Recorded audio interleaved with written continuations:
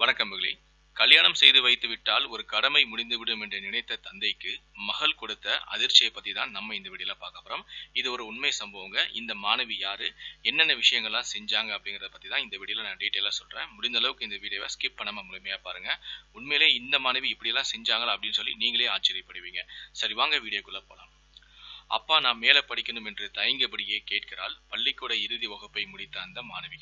உன்னை பள்ளிக்கூடம் வரை படிக்க வைத்ததே பெரிய காரியம். உனக்கு அடுத்தது திருமணம் தான் அதற்கு தயாராக இரு என்று கராராக சொல்கிறார் அவருடைய தந்தை. ப்ளீஸ்பா நான் டாக்டருக்கு படிக்கணும்னு ஆசைப்படுறேன். அது இல்லாட்டி கூட பரவாயில்ல. கல்லூரியில சேர்த்து விடுங்க. உங்க பேரை காப்பாத்துவேன்பா என்று சொன்ன அந்த மாணவியின் கண்களும் கலங்கியிருந்தன. என்னம்மா இப்படி பிடிவாதம் பிடிக்கிறியே? உனக்கு ஒரு கல்யாணம் பண்ணிட்டா என்னோட கடமை தீர்ந்துடும் பார்க்கிறேன் என்ற தந்தை மகளின் முகத்தை ஏறெடுத்து பார்த்து கலங்கிய கண்களில் உருகியவராக அப்போ ஒன்று செய். உன்னை கல்லூரியில பிஏ தமிழ் இலக்கியத்துல சேர்த்து விடுகிறேன். படி பார்ப்போம் என்கிறார். தமிழ் வழியில் படித்தால் வேலை கிடைக்காது என்று நினைத்து அப்படி சொன்னார் அவருடைய தந்தை. அப்பா சம்மதித்ததே பெரிய காரியம். அதனால் எந்த படிப்பாக இருந்தாலும் பரவாயில்லை என்று ஏற்றுக்கொண்டு பிஏ தமிழ் இலக்கியம் எடுத்து படித்தார் அந்த மாணவி. பிஏ தமிழில் முதல் மதிப்பெண் எடுத்ததற்காக அவருக்கு இந்திரா காந்தியின் பேரில் விருது ஒன்றும் கொடுக்கப்பட்டது. அப்பாவிடம் பட்டப்படிப்பு சான்றிதழோடு வந்து நின்றார் அந்த மாணவி. அப்பா எம்ஏ படிக்க வேண்டும் என்று தயங்கியபடி சொன்னார். வீடே அதகலமானது. என்ன நினைச்சுக்கிட்டு இருக்கவும் மனசுல? பள்ளி படிப்பை முடித்ததுமே கல்யாணம் செய்து வைத்து விட்டால் ஒரு கடமை முடிந்துவிடும் என்று அப்பவே சொன்னேன் இல்லையா? உன் பிடிவாதத்தை தானே கல்லூரிக்கு அனுப்பி சம் அனுப்ப சம்மதிச்சேன்.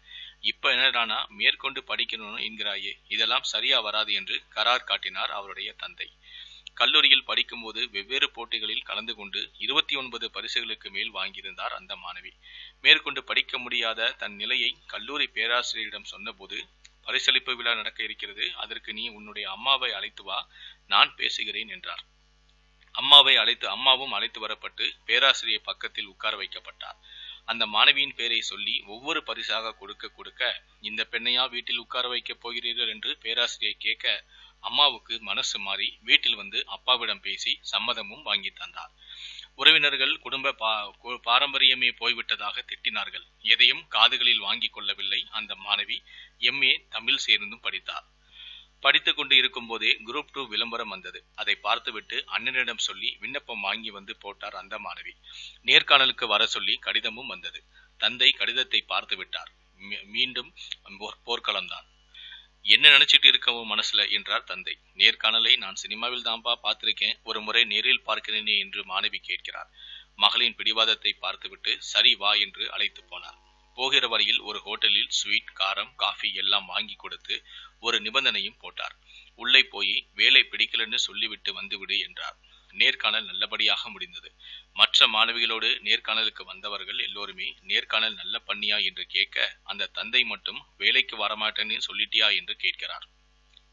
சில நாட்களில் senior senior inspector of cooperative சொசைட்டிக்கான ஆர்டரும் வந்துவிட்டது. தந்தை முடியவே முடியாது என்று சொல்லிவிட்டார். மாணவிக்கு என்ன செய்வது என்றே தெரியாமல் நீங்க ஒத்துக்கலனா எதுவும் சாப்பிட மாட்டேன் என்று இரண்டு நாட்கள் உண்ணாவிரதம் இருந்ததும் தந்தை ஒத்துக்கொண்டார். மாணவி பயிற்சியில் போய் சேர்ந்து முதல் நாள் பயிற்சி வகுப்பு முடித்துவிட்டு வெளியே வர சித்தப்பா பார்த்து விட்டார். இங்க என்ன செய்யற என்று கேட்டார்.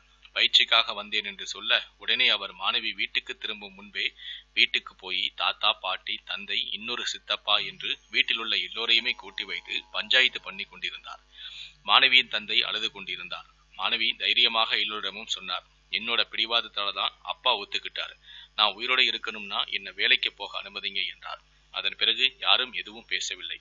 மாணவி வேலையில் சேர்ந்தும் விட்டார். அப்போது அவருக்கு வயது இருபத்தி இரண்டு அந்த காலகட்டத்தில் டிஎன்பிஎஸ்சி தேர்வுகளிலேயே பெண்களில் எக்ஸிகியூட்டிவ் பதவிக்கு தேர்வானது இவர்தான் முதல் முதலில். அடுத்து குரூப் ஒனுக்கு தேர்வானார். நேர்காணல் நேரத்தில் அம்மாவுக்கு உடல்நிலை சரியில்லை. அதனால் மாணவி நேர்காணலுக்கு கிளம்பும் போதே தாமதமும் ஆகிவிட்டது. பேருந்தை விட்டு இறங்கியதுமே கேம்பஸுக்குள் சுத்தி போறதுக்குள்ள தாமதம் ஆகிவிடும் என்று பேருந்து நிலையம் பக்கத்தில் இருந்த ஒரு குறுக்குச் சுவரை ஒரே எட்டாக தாண்டி குதித்து உள்ளே போனார். பின்னால் வந்தவங்க டெபியூட்டி கலெக்டர் இல்ல அதான் தாண்டாங்க என்று சொன்னாங்க. யாரையோ சொல்றாங்க என்று நினைத்து உள்ளே போனார் அந்த மாணவி. அங்கே போனதுதான் தெரிந்தது டெபியூட்டி கலெக்டர் பதவிக்கு தேர்வாகி இருப்பது நான் தான் என்று. இப்படி இப்படி இப்படி இப்படிதான் கல்யாண சூழலிலும் மாட்டிக்கொண்டு குடும்ப தலைவியாக இருக்க வேண்டிய மாணவி தமிழ் வழியில் படித்து கலெக்டரும் ஆனார். முதல் நியமனம் காஞ்சிபுரத்தில் தான் முதல் நாள் அழைத்து போக தாசில்தாரும் மற்றும் பலரும் வந்திருந்தனர். வீட்டு வாசலில் வந்து நின்று வாசலில் நாற்காலி போட்டு உட்கார்ந்திருந்த மாணவியின் தாத்தாவிடம் கலெக்டரம்மா இருக்காங்களா என்று கேட்க தாத்தா அப்படியெல்லாம் யாருமே இங்கே இல்லையே என்று சொல்லிவிட்டார். அவங்க ஒன்றும் புரியாமல் நிற்க தாத்தா தெற்கு வாசலில் இருக்க மாணவி பின் வாசல் பக்கமாக வந்து தாசில்தாரிடம் நான் தாங்க கலெக்டர் வாங்க போகலாம் என்று சொல்லி அழைத்து போனார். இந்த மாணவி வேறு யாரும் அல்ல எம்பி நிர்மலா ஐஏஎஸ் தான். பெண்கள் மற்றும் குழந்தைகள் பாதுகாப்புத்துறை மாநில மனித உரிமை ஆணையம் கொத்தடிமை குழந்தைகள் தொழிலாளர்கள் மீட்பு பெண் சிசு கொலை தடுப்பு என தமிழக அரசின் பல்வேறு முக்கியமான துறைகளில் கடந்த முப்பத்தைந்து ஆண்டுகளுக்கு மேலாக ஐஏஎஸ் அதிகாரியாக பணியாற்றி ஆளுமை மிக்க பெண்மணியாக வலம் வந்தவர். அண்மையில் தனது பதவியில் இருந்து ஓய்வும் பெற்றுள்ளார். கம்பீர தோற்றமும் குழந்தை உள்ளமும் கொண்ட இவர்தான் தந்தையால் தொடர்ந்து திருமணத்துக்கு வற்புறுத்தப்பட்டு வந்து பிடிவாதம் பிடித்து தமிழ் கல்வி ஆனாலும் பரவாயில்லை என்று படிக்க வேண்டும் என்று உந்துதலில் படித்து சாதனை படைத்தவர். குடும்பத்தில் இரண்டாவது பெண் இவர். சொந்த ஊர் திருக்கோவிலூர். படித்தது வளர்ந்தது எல்லாமே சென்னையில்தான். மயிலாடுதுறையில் அடுத்து வேலை நியமனம் கிடைத்தது. இவரது காலத்தில்தான் மாயவரம் என்று இருந்த பெயர் மயிலாடுதுறை என பெயர் மாற்றப்பட்டது.